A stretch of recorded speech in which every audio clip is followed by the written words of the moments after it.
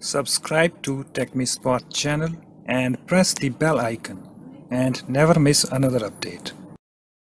Hi guys, in this tutorial I'm going to show you how to fix battery icon not showing in taskbar on Windows 10. Okay, so guys you can see that I'm on Windows 10 and in the taskbar here you can see there is no battery icon over here. Okay, and even if I click on this show hidden icons you can see there is no battery icon. Okay, so how we can uh, show it in the taskbar okay? So for that uh, you need to go to this uh, Windows 10 start button click on that and here we have the gear icon settings. So just click on this settings. And guys you can also come to this window. Let me close this. Uh, by going to this search box click on this and type settings. And here we have the settings app. Just click on that. And here we have the personalization click on this personalization. And here we have the taskbar click on that. And you need to scroll down. And guys here we have the notification area. And here we have the two options two links. Select which icons appear on the taskbar and turn system icons on or off. Okay? So just click on this turn system icons on or off. And we are on this window. And you can also come to this window let me go back. And here we have the finder setting.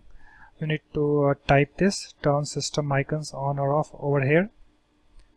Turn system icons on or off. Here you can see just click on that and we are on this window.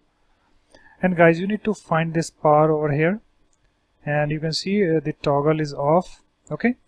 So just uh, click on this toggle to make it on. Next to the power button you can see it's now on. And in the taskbar here you can see we have this a battery icon appeared okay? And also uh, you, you can go back and scroll down. And here we have the options. Select which icons appear on the taskbar click on that and you can also come to this window. Uh, let me go back and scroll down. And here we have this select which icons appear on the taskbar you can type over here select which icons appear on the taskbar so here we have the option click on that and we are on this window again okay? So guys here we have the option power and you can see it is on here also. If you have it off over here just uh, make it on. So let me make it off. You can see icon you know uh, battery icon disappeared and it's showing in hidden icons okay? Uh, but we want to show it in the taskbar so just uh, click on this toggle to make it on. Okay so you can see that we now have this battery icon appeared in the taskbar okay guys so it's now done. Let me close this window. And guys suppose if you tried you know this first method and it doesn't work for you. So how we can fix that? So you can try this second method I'm going to show you. Okay so what you need to do you need to press windows plus R key on your keyboard to get this run window okay and you need to type this command devmgmt.msc okay and I will place this command in video description. You can check it out. So just uh, type this command and then click on this OK button. And we are on this device manager window. So let me make it big this window. Okay and after that here we have the batteries.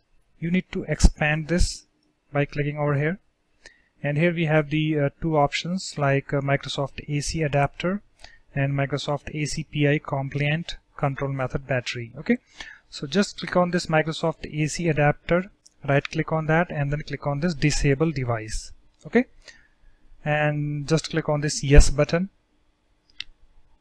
And here we have the second option. Just click on this Microsoft ACPI compliant control method battery right click on that and then click on this disable device.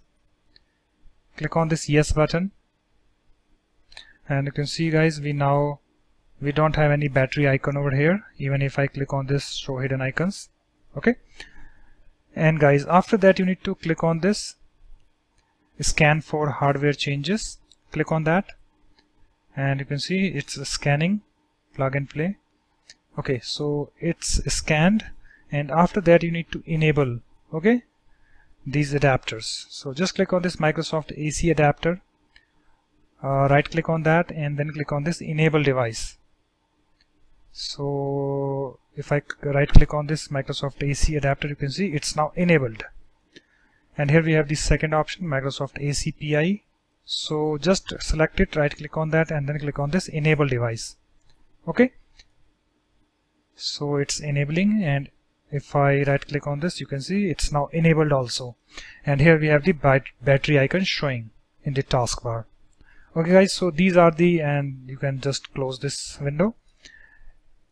Okay guys so these are the two methods by which you can fix battery icon not showing in the taskbar on Windows 10 so please let me know in the comment section whether uh, these two methods are able to fix your issue or not. So that's it. Thanks for watching. If you like my videos please support this channel by subscribing to it. Thanks. Bye bye